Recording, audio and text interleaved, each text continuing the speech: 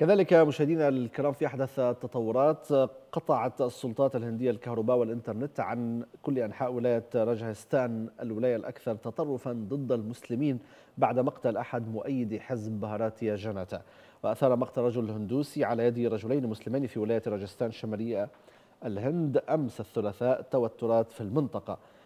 وقطع رجلان مسلمان. رأس خياط يدعى كانهاي لال من منطقة أودايابور وصور الجريمة ونشراها على الإنترنت.